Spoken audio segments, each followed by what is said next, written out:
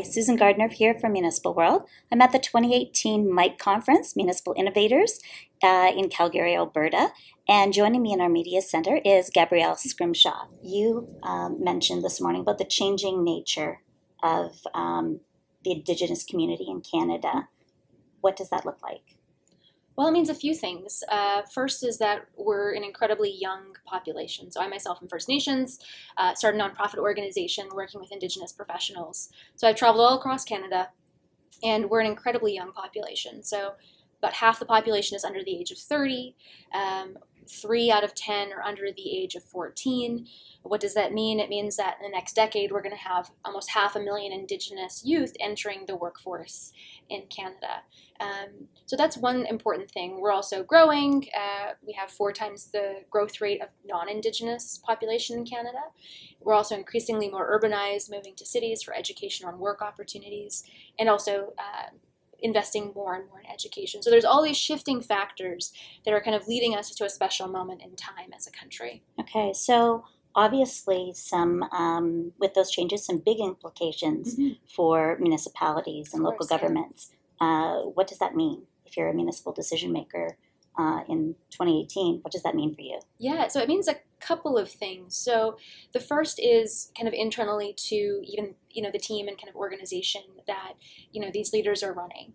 That if you think about the 400000 indigenous youth that are going to be entering the workforce that you know these people are people who might be their um, employees are potentially going to be indigenous. So that kind of brings along this question of how do we create inclusive workplaces? How do we have these conversations? Because in many ways many canadians um, either through education or even you know moving to this country weren't offered the opportunity to learn about indigenous history so i think that's an important aspect then the other aspect of course has to do with the communities that you know that you're living and working that if we have 50% of Indigenous, so that's First Nations, Métis, Inuit people in Canada, live in cities. And we know that that number is growing, and it's growing uh, for reasons that it grows for other communities. Uh, people want jobs, jobs are in cities, people want educational opportunities that are often in cities.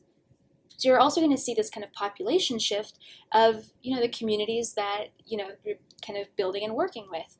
Um, so thinking about how to bring in Indigenous voices, how to either do consultations with the communities that are there, is incredibly important. So what I encourage people to do is to you know to reach out to um, the indigenous peoples that are local to them. There's a great website called nativeland.ca. Um, and you can put in your postal code and it'll tell you if you have a treaty area, what community is there, and that's a great jumping off point to start to start to learn about the land um, where your community is based as a good first step. Your organization, uh, what does uh, what do you do to help forward kind of those objectives? Yeah, so uh, the organization that I started several years ago called the Aboriginal Professional Association of Canada, and we work specifically with Indigenous professionals. More often than not, these people are the first in their family to get a university education, um, the first in their family to work in a large envir- a corporate environment or even a government environment, and we kind of help them navigate that path, um, while at the same time, you know, helping them stay true and kind of keep those deep roots of who they are as Indigenous peoples. So it's kind of a twofold thing of helping and support them, but also at the same time providing a safe space to keep rooted in kind of who we are as a cultural community. Um, so our organization first and foremost uh, focuses on indigenous professionals uh, and then we also liaise with a lot of other organizations who want to learn about indigenous professionals i understand you know personally that again many people weren't offered the opportunity to learn about Indigenous issues in Canada. And what they do learn is on the six o'clock news, and that's not the whole story. So we've been living beside one another for a very long time.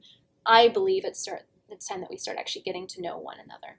That's fantastic. I think that's important work that you're doing. Thank and you. Uh, your presentation here at the conference was very moving. If people want to learn more about your organization and uh, your story, yeah. Uh, what is the website? There's two websites. So the first is I have a uh, personal website that has a lot of my publishing and kind of the advocacy that I've done, gabriellescrimshaw.com. Um, and then the organization, the nonprofit organization, is aboriginalprofessionals.org. Okay. Thank you so much for joining us here. I Thanks appreciate it. Me. Thanks. I'm Susan Gardner. We share your stories. Bye.